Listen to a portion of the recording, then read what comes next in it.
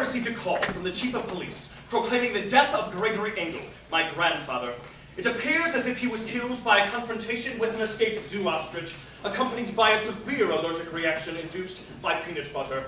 The police are confounded as to how the rogue ostrich escaped and made the half-mile journey from the local zoo to my grandfather's apartment, and where the large quantity of peanut butter came from. Thus, many questions remain unanswered.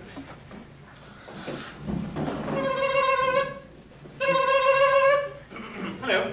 Hello, Burchard. It is I, Gail, your sister. Good afternoon, dear sister. For what do I owe this pleasure? Proud, Burchard. You know perfectly well why I am calling, and I would like to make it very clear to you that you will not see a cent of that money. That is all. Goodbye, Burchard. What money was Gail talking about? And why should I be interested? I certainly didn't need any more of the stuff. In fact, my last play did quite well indeed. and successful men needn't be concerned with finance. Hello, it is I, Willis Monroe, multi-millionaire and investment guru. Oh, Willis, how has life been treating you? Cut the crap, kid. We both know what's at stake here. I'll put 50 grand on the table right now. You just say the word. What you talking about, Willis? There seems to have been a misunderstanding. All right, smart guy. 100 grand. Take it or leave it. That's my final offer. You come highly recommended, and I'm completely Willis? serious. Willis Monroe. Yes, yes, I'm Willis Monroe, and you're Burchard English, the one and only deadly ostrich.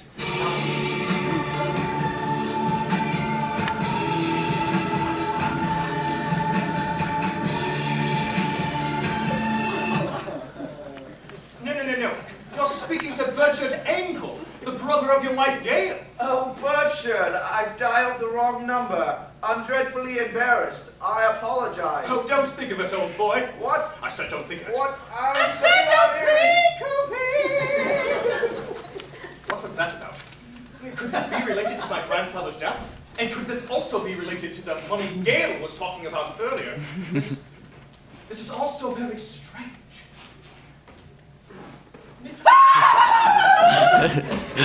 Oh, Pardon my observation, but you seem constipated. oh, oh, Mrs. Ashworth, oh, I believe I'm being pained internally by most foul circumstances. Oh, laxative. No, no, no, no, no, Fou- foul thoughts, Mrs. Ashworth. What foul thoughts indeed. Nevertheless, retrieve the laxatives. I've invited Hawkins over for tea. Well, he's 20 minutes late. I'd like to teach him a lesson or two. Perhaps Hawkins will have some good insight considering my grandfather's death. After all, he is an accountant, and everyone knows accountants are careful, meticulous types. Careful, meticulous types, making Hawkins a valuable resource.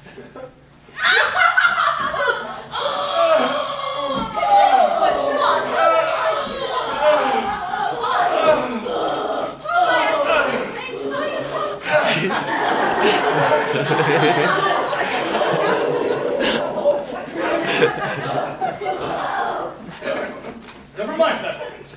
My grandfather was found dead this morning, and it appears to be foul play. Foul play? You mean murder?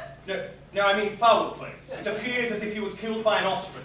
Are ostriches considered to be fowls?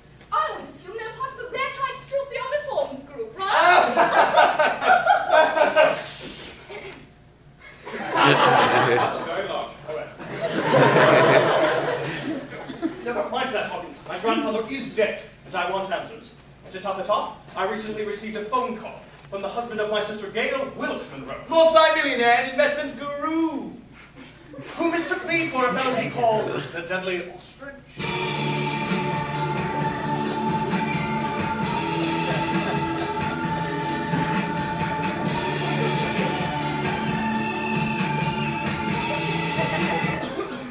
Did you hear lightning? What? I heard thunder. Oh! Again, very large. Never mind that. Uh, Willis wanted to pay this deadly ostrich. Willis wanted to pay this man in question $100,000. Do you think Willis and Gale have anything to do with your grandfather's death? Hmm. Perhaps this is something best discussed over tea. Mrs. Ashworth, fetch us some tea! Mrs. Ashworth, a good butler slash maid, and a good man, but always sleeping on the job. On a related note, it appears that your house is uh, haunted. It just so happens that I know a reliable priest who can rid your house of spirits from sheep. He's a little old and a little senile, but he really pushes the envelope and feels spirit ridden. Nonsense, Hawkins. You really ought to keep your wits about you.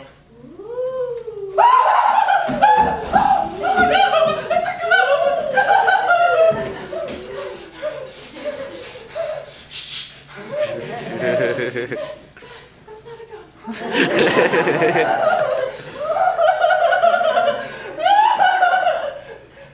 you want to put the number on the table, I'll probably call him soon, because I was pretty freaked out. Nonsense, Hawkins! We must get to the bottom of this. Well,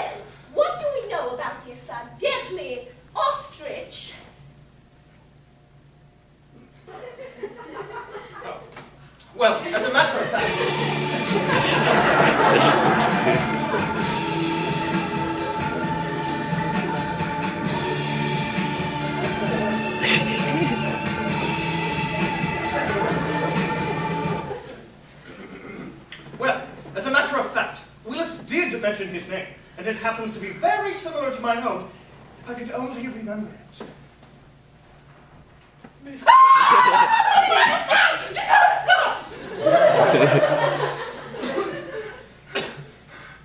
Angle, may I interest you in some tea and snacks? Splendid, quite all right, Mrs. Ashworth. Would you like me to cut the cheese?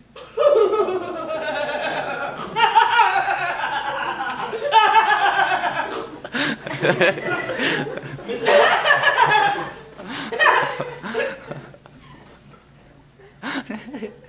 Mrs. Ashworth, I will not have you stoop to childish potty humor to get a cheap laugh. Every playwright would agree. Hawkins, would you like sugar in your tea? No, thank you, Burchard. That is quite all right. yes. All right. Have it your way. Burchard, I said no sugar. I said have it your way. keep going. No, we're done. Oh, all right, keep going. All right. Are we, are we helped off? All right. When you say brim, do you... oh, oh, all over your hand there.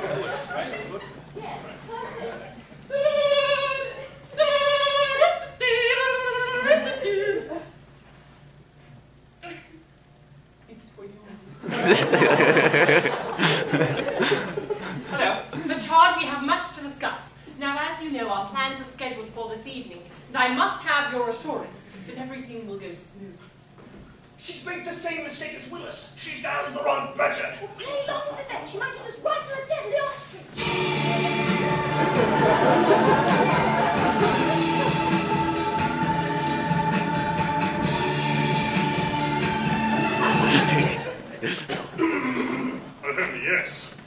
Richard, is there something wrong?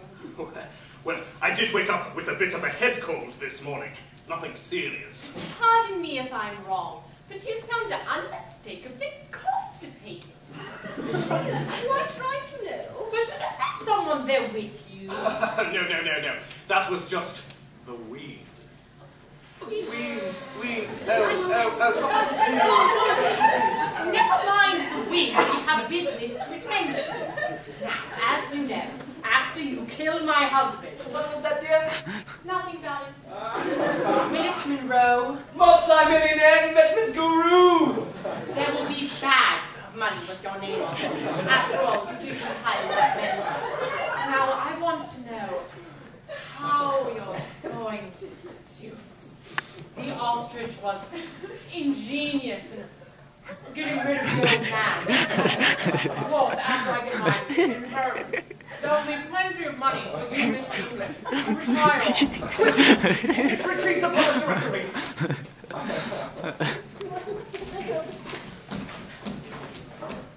Yes, oh, Burchard English is the name right under mine. That would explain why Willis and Gale dialed me instead of him. Oh, but Gale is sure to realize her mistake soon. He should dialed me purposely, not five minutes before you walked into my door. If we only knew Burchard English's address, then we could get to him before Gale does. Isn't it in the directory?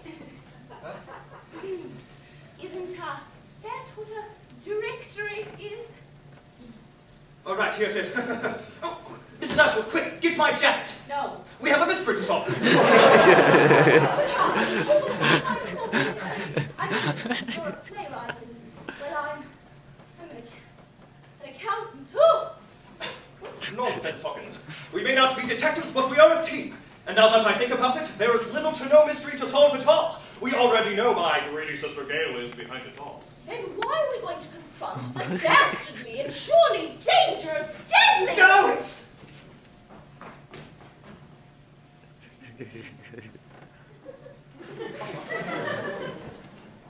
Why are we going to confront uh, Richard English? Have a word. Miss on whiteboard as well. Very well. Then let us all track down the deadly ostrich.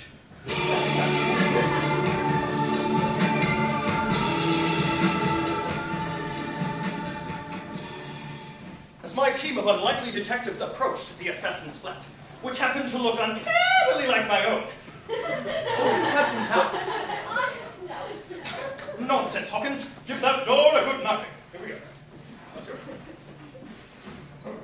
person is a norm, and not us.